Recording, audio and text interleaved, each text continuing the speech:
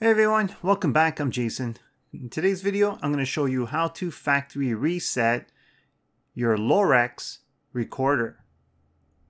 So the one in front of me is an NVR. So what we're going to do first is we have to open it up. So once we open it up, we have to locate a little button right here on the board.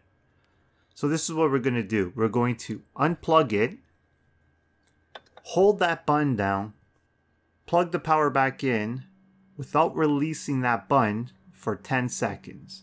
After that, let go of the button and your system will be factory reset. So let's do this now. So unplug the power,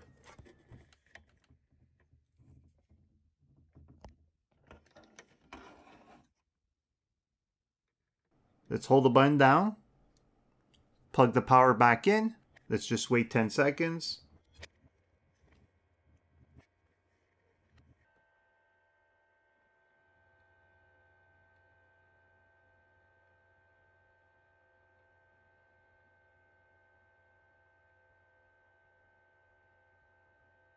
Okay, release the button. Now if you look at your screen, it should be rebooting. Now you should get the screen that you get when you first purchase the recorder. Okay guys, that's all I have for you guys today. If you have any questions, please give me a comment below. Like this video, hit those thumbs up. If you want to see more like it, make sure you hit that subscribe button. And like always, thanks for watching and have a great day.